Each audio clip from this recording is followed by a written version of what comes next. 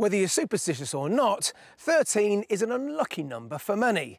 But for this village, it's a number to be thankful for, not once, but twice. And I'll be telling you why, and indeed where I am, in just a moment.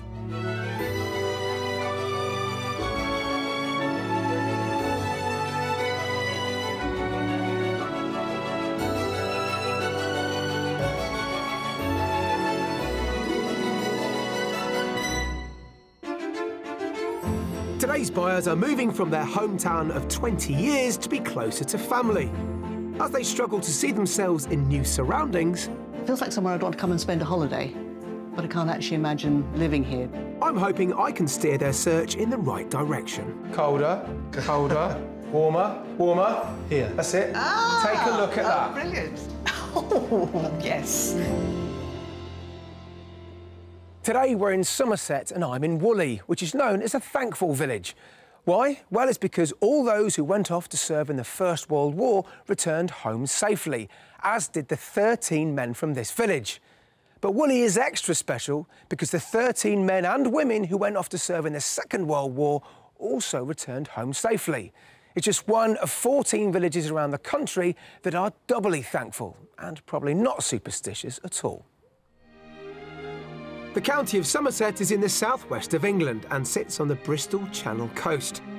This predominantly rural county has a mix of dramatic coastline, rolling hills, and large flat expanses of land. The Somerset Levels cover an area of 250 square miles across the north and centre of the county. The patchwork landscape of grassland, wetlands, and rivers is rich in biodiversity and historic landmarks. Rising to nearly 1,700 feet, Glastonbury Tor is one of the most spiritual sites in the country and has been drawing visitors to the region for hundreds of years. For those in search of a more permanent stay in the county, the village of Chew Magna was voted in 2011 as the UK's best village to live in. Its flagstone pavements are lined with pretty traditional stone cottages and a number of listed buildings. A few miles south, the man-made Chew Valley Lake, created in 1956, is renowned for its scenic beauty and birdlife and provides Bristol with most of its drinking water. Although the county is ranked seventh largest in the UK, it's far from being one of the most populated, making it an attractive option for those after a peaceful escape from the busy city.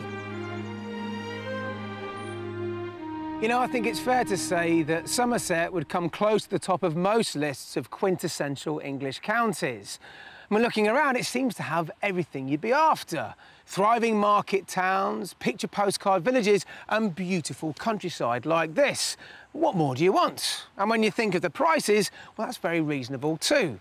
£315,000 is the average price of a detached property in Somerset, which is only £2,000 above the national figure. All I need now is a couple who are looking to move here, and that's exactly what we've got today. Let's meet them. Marketing manager Lexi and recently retired Peter met at college in 1972. I remember sitting in a lecture theatre thinking there's so many guys on this course, I've made the wrong decision. And Lexi walked in in a little yellow short skirt, and I thought, ah, things are looking up. So, long time ago now, but uh, the memory's still there, you know. It was purple trousers and a yellow belt, but hey. Peter and I were in the same tutorial group from the very beginning. Yeah, you were my pal all the way through, really. 77 we started going out, and we married in 78. Hmm. After 44 years of friendship and 38 of marriage, they know the key to a long-term relationship. The secret to making a success of it is the fact that we tolerate each other, uh, we're good friends, um, and we give each other, each other space. I think that's also important. Yeah, a bit of give and take, and then I give up and she wins. Yeah, fair enough. They currently live in a five-bedroom property in the Surrey commuter town of Camberley.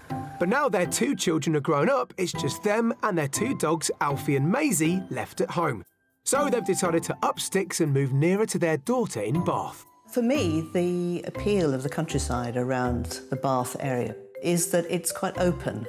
In Surrey, there are some beautiful places, but Surrey specialises in trees, which means that you don't see anything. I, I think to see open fields, and, and, and around Somerset, there are some beautiful, beautiful open fields. You've got the fantastic history, um, but you're also close to the coast and you're also close to some beautiful countryside. As Peter's already retired, he'll have plenty of time to explore the local landscape. And with Lexi planning to reduce her hours and work from home more, she's also hoping to have more time for herself. Keeping active is really important to me. So yoga and Pilates are really important part of my life now. Um, and I'd like to be able to spend more time doing them. And I'd like Peter to take up golf. I'm not going to take up golf because I've got no eye for a ball at all. No, you haven't. So you can do that while I stand on my head somewhere. Yes. Yeah. For Peter, a property with outside space to unwind is top of his list. He's looking for somewhere with project potential. But I do enjoy pottering around in the garden and trying to make things look as nice as possible. And I would like to spend more time in the garden developing more interesting features, um, even if it's just more borders, a bit more vegetables. One of the things we really want is a nice garden, nice sized garden where we can, you know, play around with it and get things just how we'd like them. and somebody to show you which are weeds and which are flowers. would be. Absolutely vital. Lexi and Peter want to be within a 30 minute drive to their daughter in Bath, which focuses our search in the north of the county. All I need now is their property wish list. Good morning. Good morning, Johnny. What a beautiful spot and a gorgeous day. Indeed. Fantastic. If this doesn't convince you to move to North Somerset, nothing will. It is Absolutely, beautiful. it's wonderful. Yes. Why have you chosen to look for a house here then? Well, it's uh, the West Country. It's going to be near our daughter. Um, we're looking for a place that's uh, out in the country, Mm-hmm. bit secluded, market town. You've mentioned all the things that attract people to the countryside, haven't you? But You've got a daughter and a son. Yep. What's wrong with the son? He's in Los Angeles. Okay, That's not right. going to work, is it? Now, geographically, you're looking in North Somerset because of its proximity to Bath. What if we found ourselves over the border in Wiltshire? Yeah, that sounds good. Yeah? As long as Yeah. it's uh, close by. So let's talk about your new lifestyle then, Peter. Recently retired. Yes. What are you going to do? Well, one of the things I'd really love to do is to get stuck into my own gardens. How big is this garden going to be? About half an acre would be really nice, so we could do a bit of vegetables, maybe a couple of orchard trees, apples, pears. OK, let's talk about the house itself. What exactly are you looking for? The first thing we both have fully agreed on is it's got to be light and airy. We were looking, because it's just going to be the two of us and the dogs, but with the kids visiting from time to time, so sort of three to four bedrooms, that's not really any bigger than that. And then downstairs, we have said all along we definitely need two sitting rooms. Why is that? He likes watching sport. I was going to say it's four room, isn't it? Yes. I don't. Absolutely vital, so she can watch her soaps and I can watch my sport. How about style? Have you got anything in mind or are you open minded? Well, I'm fairly open-minded. I mean, I like all the new technological gizmos, um, but you know, a period house might possibly on the horizon. Who knows? Well, it would have to be a light and airy period house, Yeah, and that could be true. difficult. OK, how much money are you looking to spend? Absolute maximum, eight hundred and fifty thousand pounds. You say you're open minded. That's fantastic because I'd like to show you a range of properties. Ready to go? Excellent. Ready. This way. OK. Fantastic. For a maximum budget of £850,000, Peter and Lexi are looking for a light three to four bedroom property with two sitting rooms so they can each have their own space and a large garden to keep Peter busy. They'd like to be near to or on the edge of a village and within half an hour's drive from their daughter in Bath. We've got three cracking properties ready for them to view. At each one, they'll have a chance to guess the property's price tag before I reveal it. And for our final offering, we found a mystery house overflowing with character and providing a massive amount of potential.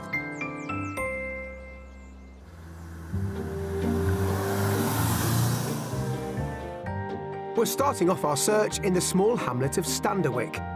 Just a mile away in the pretty village of Beckington, rows of beautiful stone built cottages and a 16th century inn serve as a reminder of the village's prosperity from the wool trade.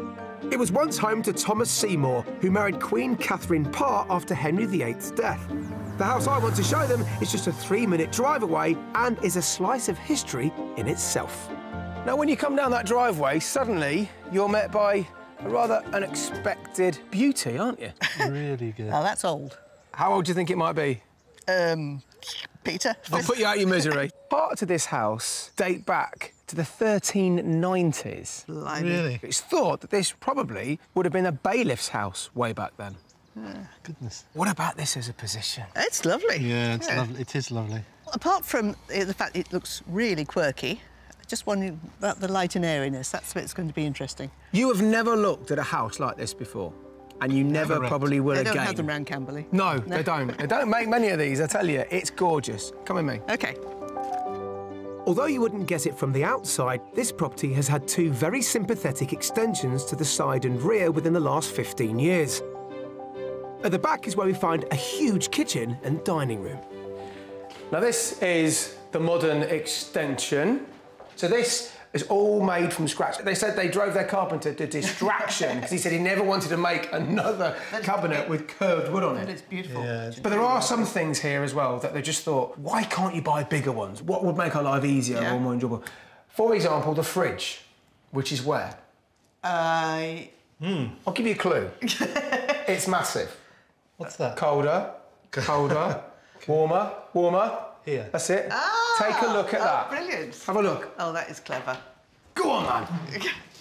Oh, yes. Now that's that's a real fridge It's a because that's a walk-in larder fridge. fridge. Yeah. Perfect. Yeah, that's No, really that's lovely. excellent. And family coming to visit, you've got room here. This is the part of the house you spend all your time in the day in. I do like this room. Yeah. It's lovely. This is beautiful. Very impressive. Also on the ground floor is a practical utility, a stylish shower room, and downstairs WC. The extension on the back of the property houses a sunny garden room, the perfect Pilates studio for Lexi. But in the original part at the front of the house is the main sitting room. Just mind your head coming through. The bending of the head is worth the wonderful character you get in this house. Oh, wow. Yeah. It is very different, isn't it? It is. Done a good job here, haven't they? Now, you've got a reception room as you walk in through there. Yeah. Another reception room here. Your two reception rooms that you asked for. You've got a study or office area on the ground floor here. Right. There is also a space at the top of the house, which I think you might start to fight over. Because is that another television room or is it an office space? I have to say, it's um, better than I expected. Really? Yeah, I, I do. I can see that the conservatory through there provides a lot of light, Yeah. so that's a positive sign. What do you think, Lexi? I'm feeling a bit claustrophobic. Right, okay. The beams concern me a bit. In some ways, I love them because I just want to touch them because Yeah. they're so old. Yeah, yeah. But the one with the, the metal uh, across it, I can see myself actually my head open. So, quite mixed reactions to the areas on offer on the ground floor. Upstairs, the three guest bedrooms aren't huge, but two are doubles and would comfortably accommodate visiting family. There's also a large contemporary bathroom and the master bedroom. Now, you all need to mind your heads here, Lexi and Peter, Yep. but look at this gorgeous room again. These are serious beams, aren't they? Yeah. Big enough, isn't it? It's a bit cosier than what we've got, mm-hmm. but I think Well, that's what we need. that's what we need, yeah, and the sort of style is absolutely perfect, really. Yeah. And they've kept the, the decor mm-hmm. really lovely and simple, so you see the beams too. and Yeah. It helps reflect the light. Mm. So it doesn't feel dark, even though the windows are quite small. Well, it's such a gorgeous day. Let's get back outside and start talking about the gardens, but also start thinking about price. Okay. Okay. I think this house proves that period properties don't all come with dark, pokey interiors. Outside, the garden is mostly lawned. There's a small area to the rear, with the majority to the front and sides of the property. Now, half an acre of garden you said you're after. The plot size, I think, is approaching half an acre. What do you think? It's a lovely plot. Yeah, it's a nice sized plot. Is it big enough to start getting a bit more adventurous, do you think? Yeah, there's a lot of potential here, I think, for um, a couple of apple trees, fruit trees, that sort of thing. OK, good news. So how much do you think this house is on the market for? I think this house is on the market for £750,000. OK. Lexi? I would say it's going to be more than that, so I'm going to go more 795. Not far off. This place is on the market for offers around £800,000. All right? Okay. We would never have probably chosen to look at this one, but um, having done so, I think it's really great. I'd like you to go back into the house now, have a good look around all the areas on your own, and I'll meet you whenever you're done. All right? Okay. See you in a moment. I think this beautiful period property could really work for Peter and Lexi. There are four bedrooms, and with two sitting rooms, a third space in the loft, and a modern, bright kitchen, they'd get all the living spaces they wanted. With a large garden for Peter, it's just a mile from the nearest village and under half an hour from their daughter in Bath. The vaulted ceilings are magnificent, aren't they? Really are. But the bedrooms might be a bit small. Hmm. What do you think? Uh, it feels like somewhere I'd want to come and spend a holiday, but I can't actually imagine living here. There were two things that surprised me um, when we came inside. First thing was that, uh, yes, it is light and airy, um, which I hadn't expected. Uh, secondly, was the amount of beams, the feeling that emanates from the beams. It's a, a fascinating property, it really is. If I have one sticking point with the property, it's the garden. The size is just about right, really, but its orientation seems to be wrong. And 95% of it, I guess, is towards the front. And that is slightly disappointing. I've got some thinking to do, whether, whether there's actually some mileage here. Well, you're a short amount of time there, and I don't blame you taking your time in this house because it's quite something to behold, isn't it? It certainly it's is, amazing, yeah. yeah, it's really lovely. Testament to the hard work and graft that's gone into it by the owners. Whether or not it's for you, that remains to be seen. Onward and upward? Onwards. Okay. okay.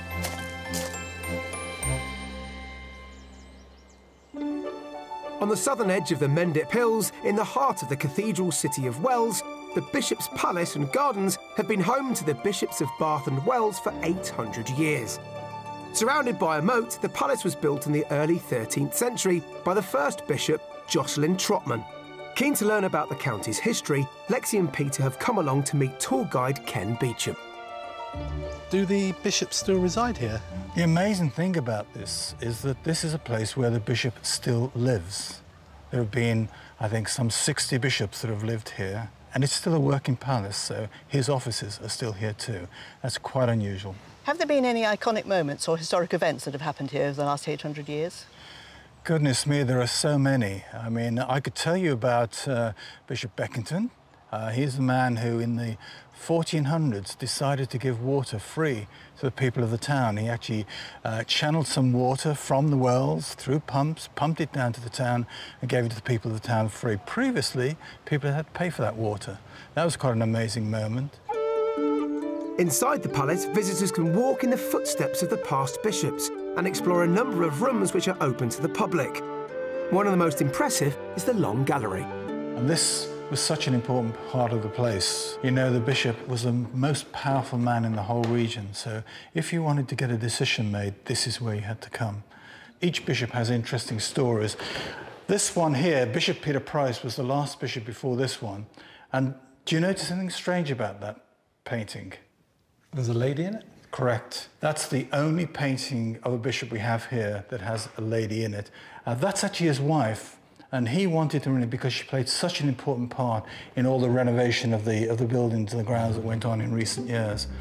Um, maybe in a few years' time, we might see a painting of a lady bishop with a husband in the background, who knows? You never know. Outside, the surrounding 14 acre gardens have been transformed over the centuries as each of the bishops added their legacy. Today, they have a Grade 2 listed garden status due to their special historic nature. Peter's keen to meet head gardener James Cross, who oversees a team of over 20 volunteers helping to maintain the grounds. This is the community garden, and this is open to anybody from the local community who might like to come in and have a go at gardening and growing some of these uh, lovely flowers and some of the produce we grow as well. Great idea. These are interesting. Yep, these are calendula, these orange flowers, and I thought you both might like to have a go at cutting some flowers and bunching them up ready for sale. OK. The upkeep costs at the palace and gardens are huge, and they rely heavily on income from visitors and the help of volunteers to keep it running. Fruit and vegetables grown here in the community gardens are used in the kitchen of the on-site cafe and are sold in the gift shop along with plants and cut flowers.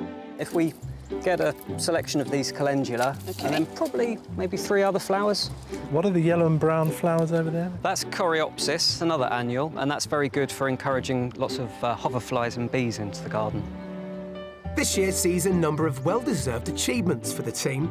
The gardens have been given a partner garden status by the Royal Horticultural Society for their exceptionally high standard of planting and design. In addition, visitor numbers are expected to soon reach 85,000, a figure which has more than doubled in the last five years. Well, that looks like it's just about ready, I think, to be sold. OK. Shall we uh, take them down to the shop? That's it. And yeah, if you would like to be uh, volunteers, one day you're very welcome to come and join us. But for now, it's back to the house hunt to find out if our next property is going to be the pick of the bunch. We're crossing the county border into Wiltshire and heading to Bradford on Avon, less than eight miles from the centre of Bath. This market town is considered by many to be a mini Bath and is a visitor hotspot due to its historic architecture, attractive riverside setting, and a selection of shops and cafes, including an award winning tea room housed in a 16th century blacksmith's cottage. On the bridge in the centre of town stands a small domed building known as the Lockup, which was used in the 1700s as a town jail. I'm hoping our next house will be just as arresting. It's a 20 minute walk from the town centre. Property number two you can see is, well, it's almost the polar opposite, isn't it? New? Yeah? Five years old. Right, OK. But not all of it's new. This is a converted piggery. That seems about OK. appropriate. Wonderfully romantic, I know. But to all intents and purposes, it feels very much up together as a modern home, but Yep. shrouded, if you like, in that local stone that gives you that character feel. Yeah. Mm, mm. Happy to go inside? Yeah, definitely. Let's Come do on in. that. OK. After their mixed reactions to the period property I showed them, I'm keen for Lexi and Peter to see something really modern. This house is almost brand new, and with solar panels in the garden, it's also eco friendly. So totally different to house number one. What say you, Lexi? It is very different from house number one. It is lovely and light and airy. So, Yeah, that's the first thing that Yeah. grabs me, Yeah. is how bright it is and mm. which is what we looking did say. through. Yeah, you did, Yeah. yeah. and that view through there. I like it. I like this room. Do you? Yeah, I do. So you've got a flow with this house, as Yeah. you can see. Like this room, it feels like a bit of a hub of the room as well. The staircase going off, you've got a ground floor bedroom or study, and a fantastic dining room there, which I think you'd open those doors up and spend a lot of time in there. wouldn't Yes. Yeah, it looks like it. Yeah. It looks like it. Well, these are good first impressions. Let's see what you think of the kitchen. Come with me. Okay. The far end of the living room leads to the modern, bright kitchen, and beyond it, there's a utility room and downstairs WC. So I reckon the kitchen's a pretty good size. Yeah. Oh, yeah. But most importantly, that room brings the garden into play Yes. and all those views, doesn't it? It does. It's nice. Yeah. Um, the view is the winner for this house rather than the house itself from what we've seen so far. It's not making my heart tick at all. No, and a lot of modern houses don't. But you have to inject something into a Yes. modern property. Yes. Yeah, no, I can see that. The other one already had its history was oozing out of it and all its hmm. personality was oozing. This has still got history to be made in it, I suppose. Let me take you upstairs and show you what we've got there for the bedrooms. So far, this property seems to be a slow burner for Lexi and Peter, but I think the upstairs offers the practical space they're hoping for. There are three bedrooms, including two doubles with built in storage. They share the use of a family bathroom, ideal for guests. And the master bedroom is en suite. But I really like this room.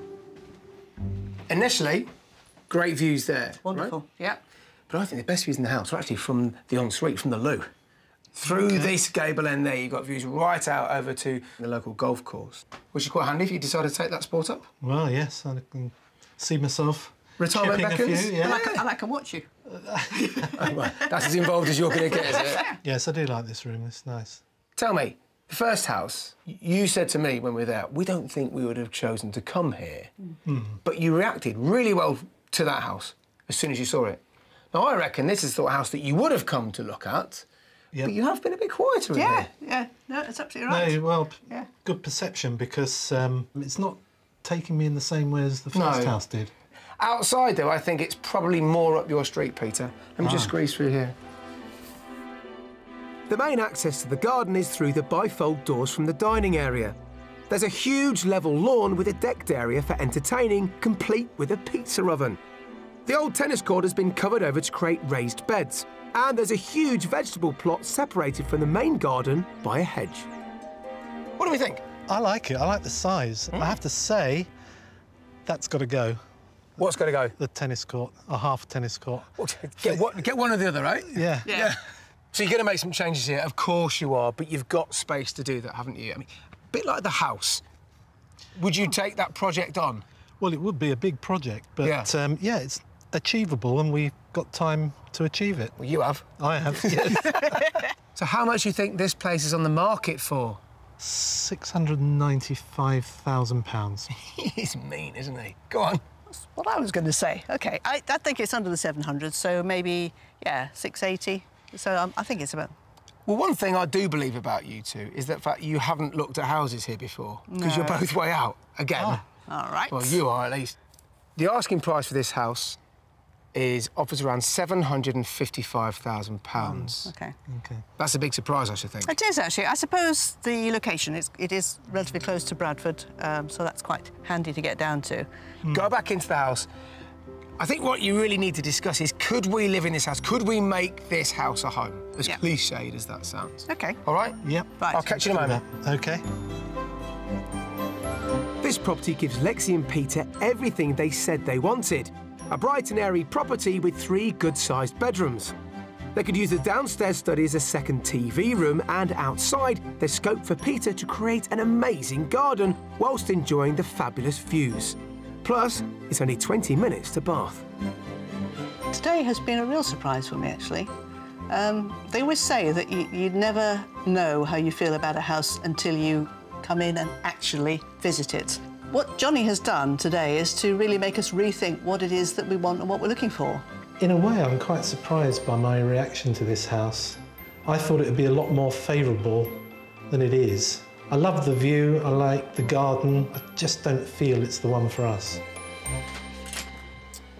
So two very different houses to think about now, aren't they? Very. Very different. Yeah. yeah. Food for thought. Hopefully so. And with this beautiful weather, maybe something to chat about over a sundowner. Yeah? Sounds like a Sounds great, a great idea. idea, yes.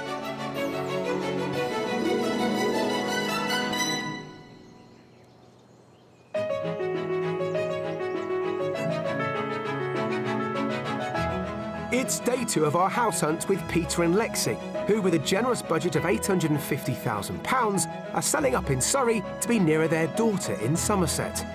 Coming up, our buyers get more than they bargained for with our mystery house. Impressive. Not what you expect at all.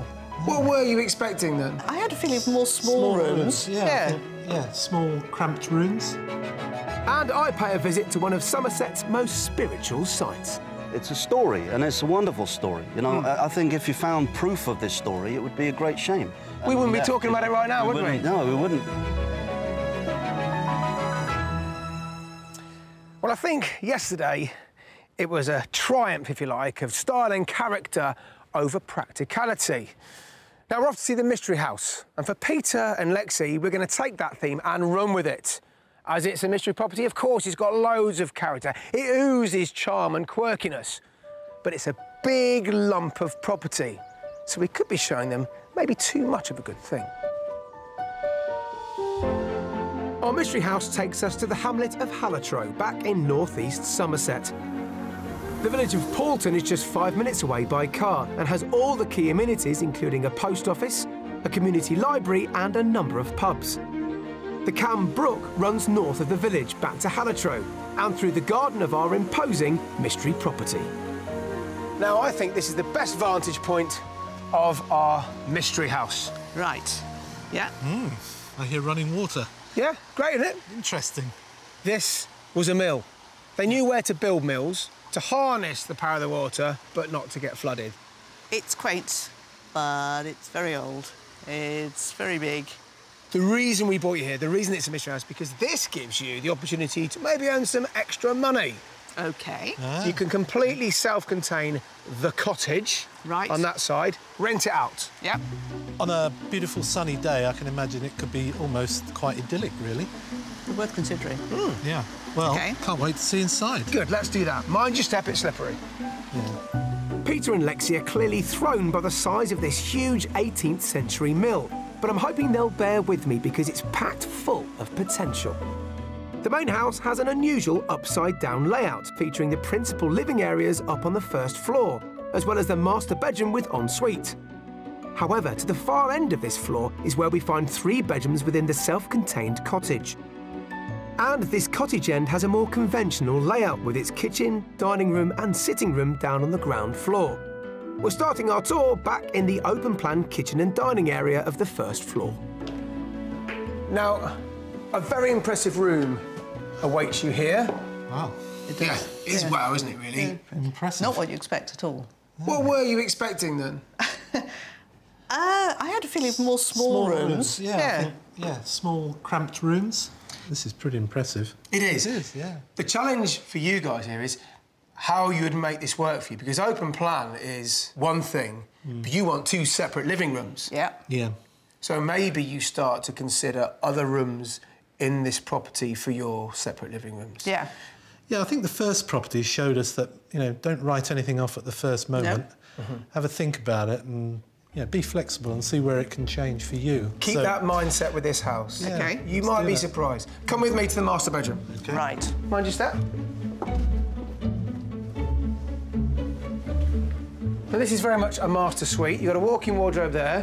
Yeah. A fantastic ensuite bathroom with a separate shower. And a twin aspect bedroom. Yeah. Cosy, small-ish. This is the biggest bedroom I've shown you. Yeah, it's a nice shaped room. I think it lacks for me the, the wow factor, I have to say. If you didn't like this master bedroom, and this is going to confuse you, there's another bedroom, the other side of the kitchen space, if you like, Okay. where that study area is. Because this house has that cottage at the end, which is self-contained, Yeah. but up on this first floor, there are bedrooms there as well. Right. Okay? Remember, you do have options with this house. Stay with me or you'll get lost. From the outside, this property looks a bit daunting, and it does take a while to get your head around the inside layout.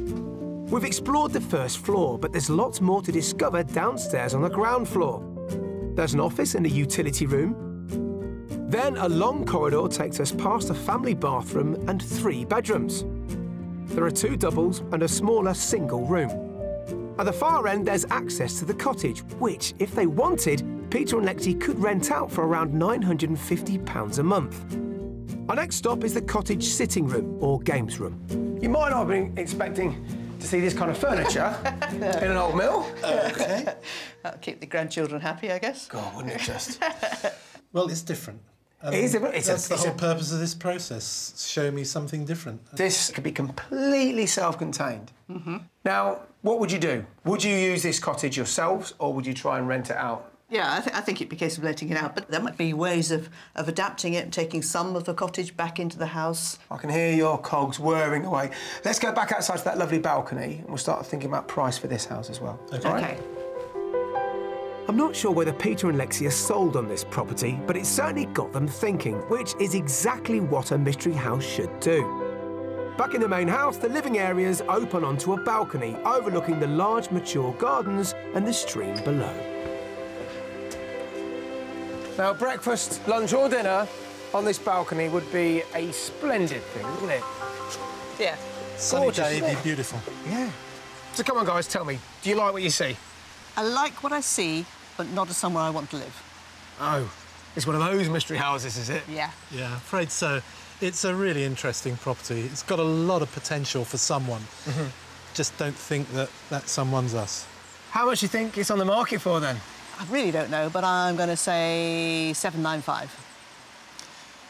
That would have been my number, Oh, well, you go ahead. but it's going to be £775,000. Good guess. You're getting better. This place is on the market for offers around £750,000, Okay. Okay. Which I Yeah, think Yeah, you yeah. get. It's, it's a lot of house get money. a lot, You don't get you? a lot of house for that money, yeah. Go back into the house, have a good look around at all of it. I think it's so interesting, but there's so much of it. And I will meet you whenever you're done. All right? Okay. Okay. Lovely. See you in a moment. Right. Well, if this is the only house I was showing him, I, I might be rather frustrated. My expression would probably reflect that of the guy on the bridge there, but I think this is throwing them towards one of the other two houses we've shown them. So I think it's a very, very good exercise. Under budget by £100,000, this huge mystery mill house has masses of living space.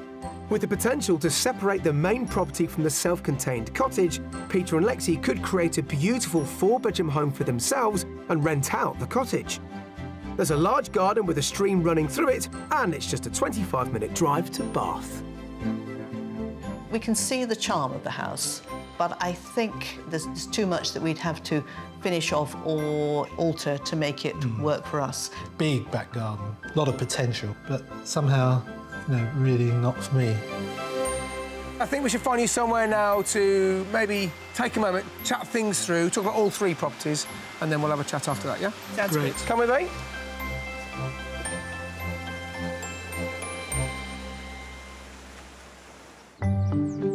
For centuries, people have journeyed to the market town of Glastonbury in the heart of Somerset to immerse themselves in its vibrant mix of history, myth, and legend. This historic centre of pilgrimage draws people from different walks of life from all over the world. Do you live in Glastonbury? I do. Perfect.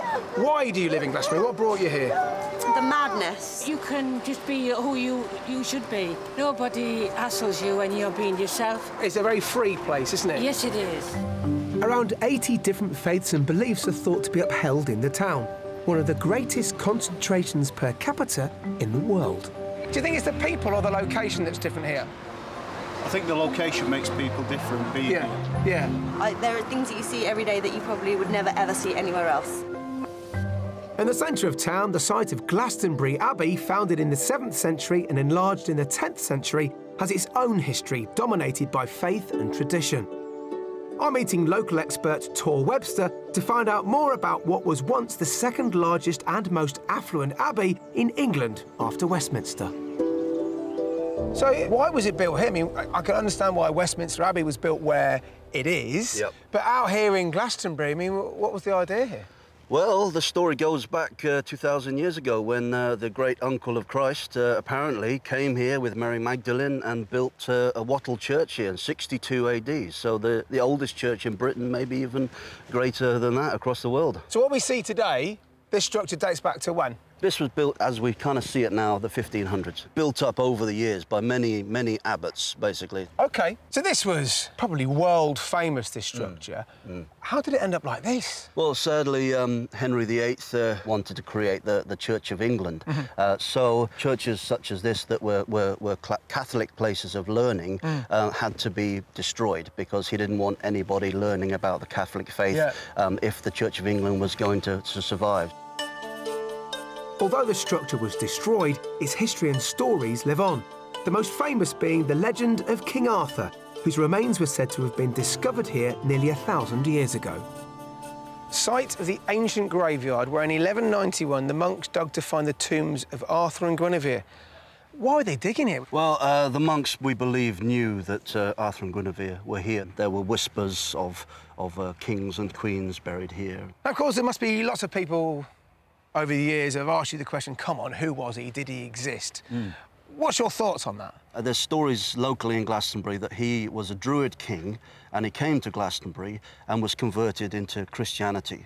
And that's why he became a hero. It's a story, and it's a wonderful story. You know, hmm. I, I think if you found proof of this story, it would be a great shame because you'd lose a lot of the magic, a lot of the intrigue, a lot of the discovery. You know, once you've proven it, it's gone. And, and wouldn't be talking you about know. it right now, would we? No, we wouldn't. Legend has it that when the remains were dug up, the Benedictine monks moved them to the eastern part of the abbey, where they were reburied just in front of the high altar. This is pride of place. This is front row seats. This, This, is, is, it, this, isn't this it? is where the monks uh, held their services and sang and yeah. Me. Shows just how celebrated they were. Exactly, yeah. Now, going back to the dissolution of the monasteries, King Henry VIII and his town planning, if you like, completely wrecked this place. Yeah. What happened to Arthur and Guinevere then? Well, uh, the, we believe the monks got word that the army were coming here to, to destroy the abbey, and uh, they cracked open the lids and took the bodies probably somewhere in the landscape. Well, if I was been mean, I'd probably say, well, that's quite convenient. The bones are no longer here, aren't they? But I like the fact that the legend continues. Exactly. They're somewhere else now. Go Yep. find them. yeah, yeah, yeah, yeah. Whether I believe in the legend of King Arthur, I'm not sure. But what I like about the Abbey and Glastonbury itself is that it's a magnificent place where religious traditions, tolerance, and important English folklore all still resonate in our own time. I think we should go on a treasure hunt for some more bones, Let's don't do you? it. I've got a spade in the car. Come on, let's go then. because I think if we find these bones, we're made for life.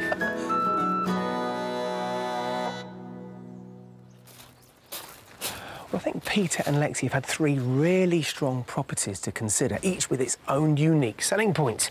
But I think they're both really surprised in the fact that house number one for them is actually edging it. But let's find out from them their thoughts.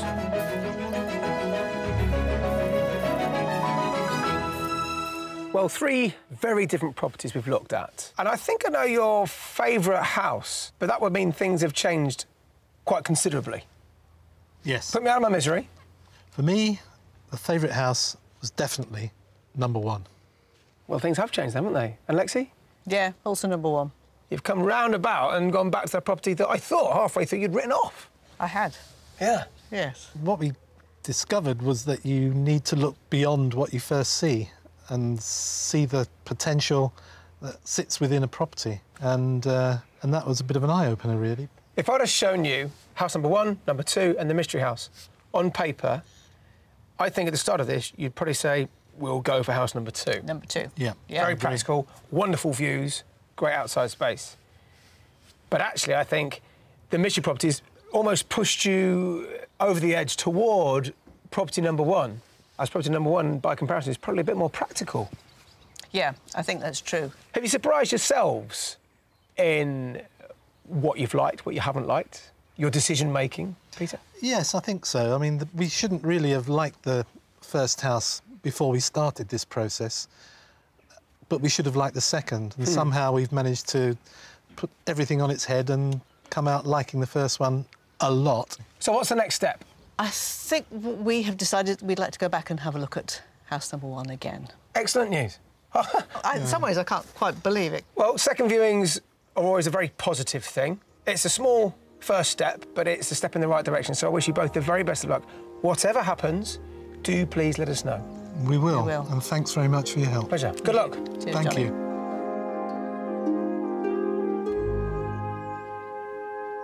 A number of times on a Escape to the Country, I'm stood here thinking that the couple have gone on a bit of a journey. And yeah, sure, that might sound a bit cliched, but that's exactly what's happened to Peter and Lexi here. Going back to house number one, their first impressions were, wow, beautiful property, loads of character, but we couldn't live here, could we? And I think halfway through that house tour, a light bulb went on in their heads. And they thought to themselves, why couldn't we live here? Why couldn't we enjoy this wonderful space, this character and charm on a daily basis? And that's what the second viewing is all about, asking themselves these practical questions. So I wish them the very best of luck when they go back to the property, and I'm looking forward to finding out what their next step is. I'll see you next time. If you would like to escape to the country in England, Wales, Scotland, or Northern Ireland and need our help, you can apply online at bbc.co.uk forward slash be on a show.